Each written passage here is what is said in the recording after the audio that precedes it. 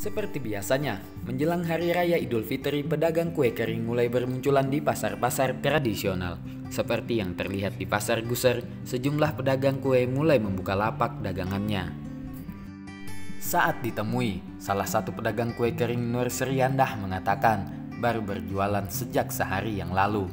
Tahun ini harga kue kering sedikit mengalami kenaikan dari tahun lalu.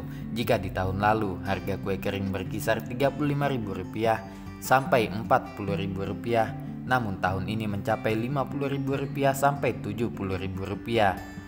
Untuk antusias pembeli, ia mengatakan biasanya Hamin 10 jelang Idul Fitri sudah banyak yang membeli kue.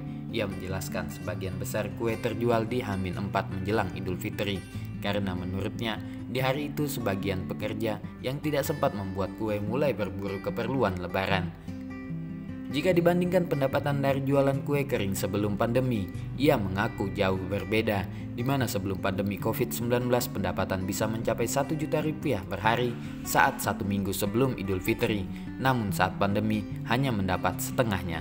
Namun ia mengaku tetap bersyukur dengan lakunya kue buatan sendiri yang ia jual kalau sudah mau dekat hari hanya empat empat hari sebelum baru ya agak ramai. kalau kalau tahun kemarin kan pak masih covid nih. iya. Sebelum covid sama uh, pas covid ini gimana? beda. Beda. Iya beda banget malah. kalau covid kan orang jarang gitu. Nah kan palingan pesan online.